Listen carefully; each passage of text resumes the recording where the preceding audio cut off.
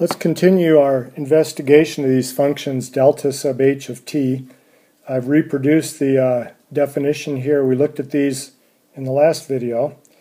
And what I'd like to do is let's take a moment um, and let's think about uh, what delta sub h of t minus c is. Now we discussed this in the last video. We're taking c to be greater than 0. So what this is is actually just the same function but shifted to the right uh, so that it's centered at c. So what we have is the function value is still 1 over 2h, but now rather than having that value between negative h and h, in other words within h of t, it needs to have that value within h of the number c. So if we think of within h of c means h minus c to h plus c, so that gives us our range of values um, over which the function takes the value. Whoops, that's supposed to be c minus h rather than h minus c. Let's fix that.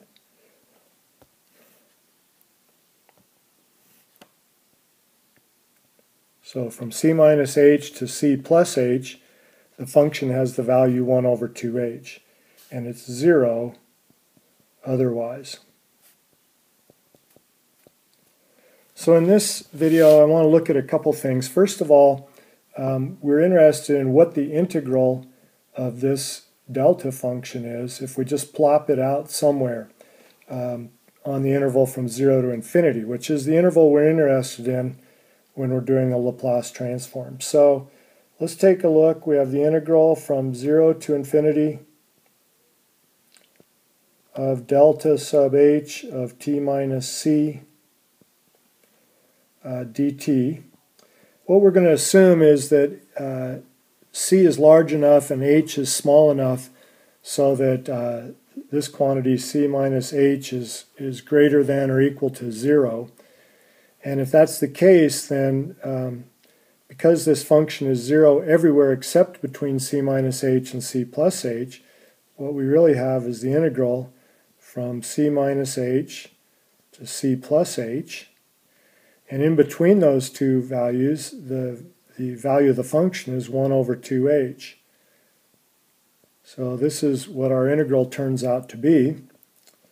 And of course, the 1 over 2h is simply a constant, so we can bring it out in front. So we have 1 over 2h times the integral from c minus h to c plus h uh, dt. And of course, the integral of dt, sorry about all this crazy moving, okay, the integral of dt is simply t. So this is this turns out to be um, 1 over 2h times the quantity c plus h minus the quantity c minus h. And if you think through the arithmetic there a little bit, we have 1 over 2h, and then there's, there's going to be a c minus a c, which will be 0, and then h minus negative h, so times 2h, which of course then the 2h's cancel and we just get 1. So that's regardless of the value of uh, h and c. Now that, if we think about it, that really should make sense geometrically.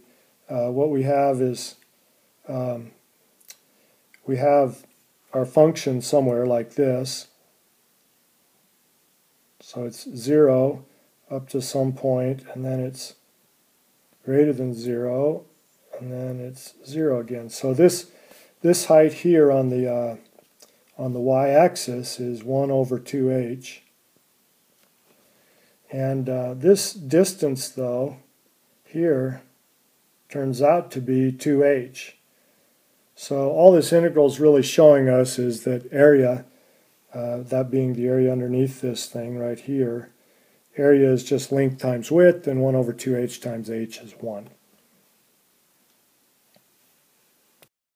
What we want to look at next is uh, what happens when we calculate an integral like this. So if we do an integral from 0 to infinity of some function f of t, times delta sub h of t minus c dt, um, what happens in this case? So let's shrink that down a little bit and come back to it. So if we think about it, this delta sub h is simply, remember it's 1 over 2h from um, c minus h to c plus h, and it's 0 el everywhere else. Okay, so 0 elsewhere.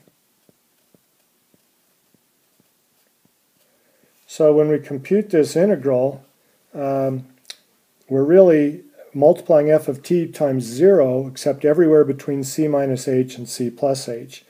So the integral then becomes um, an integral from c minus h to c plus h.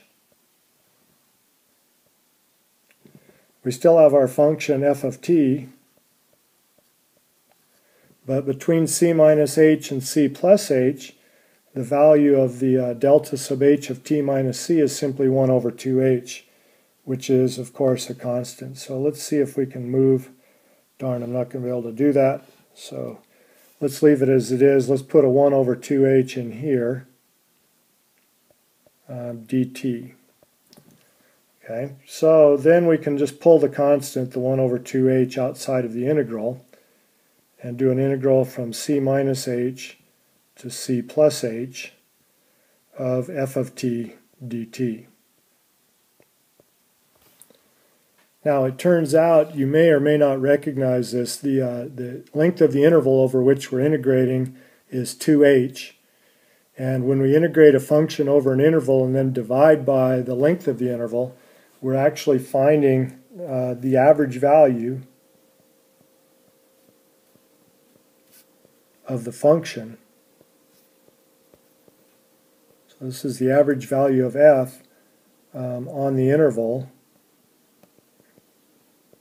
from c minus h to c plus h.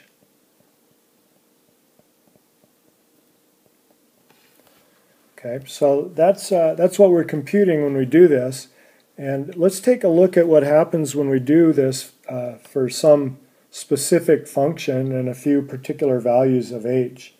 So, uh, what I want to look at is let's suppose that f of t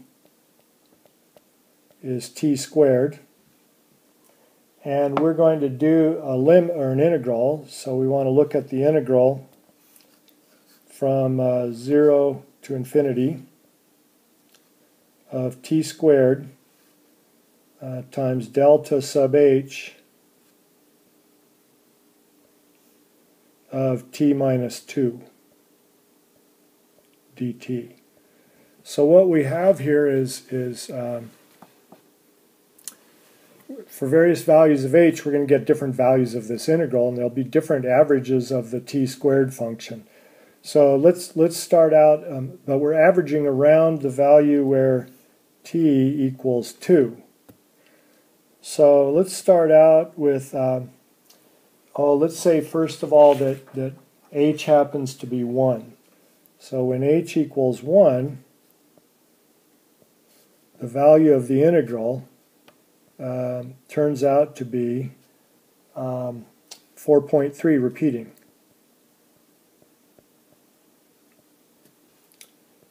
When h is 1 half, which means our interval becomes narrower, uh, the value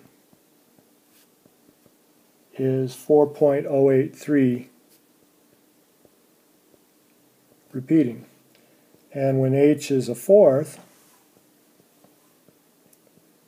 the value of the integral is uh, 4.02083 repeating. So you can see that the values appear to be getting closer and closer to 4, and it looks like what we have going on is that the limit as h goes to 0 of the integral from 0 to infinity of t squared delta sub h of t minus c dt is 4. And in fact, this is the case. And what we want to notice is that 4 happens to be 2 squared. Um, where the significance of the 2, let's see, I made a mistake in there. Uh, this, this was supposed to be a 2 right here. So where I put that black over that blue, that is 2. And so the 2 together with the function t squared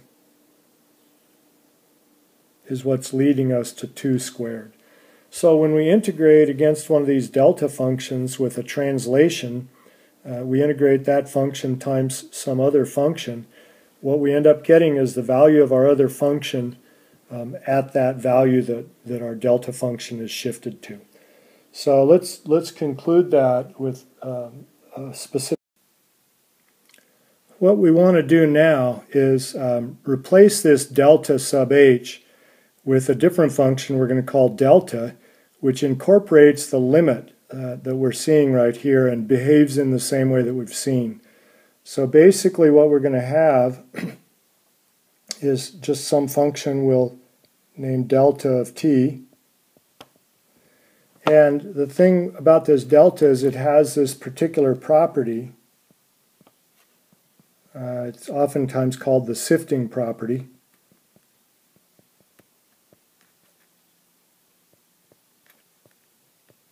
And of course, as I mentioned earlier, this isn't actually a function, but um, what we have is uh, we can we basically this function does what we just saw up above. So if we had the integral from 0 to infinity of t squared times delta of t minus 2 dt, what this function does is it simply evaluates the function t squared for t equaling 2. So it puts the 2 in there, and that's our result. Okay, so this comes out to be equal to 2 squared, or 4. To look at another example, if we had the integral from 0 to infinity of, say, the square root of t times delta of t minus 9 dt, what we would get from this is simply the square root of 9. So again, what's happening is this is our function, and this is the value that's going into the function. So let's do, let's do one last one of those. Suppose we were looking at the integral from 0 to infinity of sine t times delta, so let's put parentheses on the sine to not tangle it up with that delta, uh, delta of t minus pi over 2 dt uh, means that we simply evaluate sine at pi over 2, which is 1. So that's the behavior of the delta function um, that we're interested in, the delta quote function. It's not actually a function again. So let's uh, leave that at that for now, and in the next video we'll, um, we'll consider the Laplace transform of a delta function.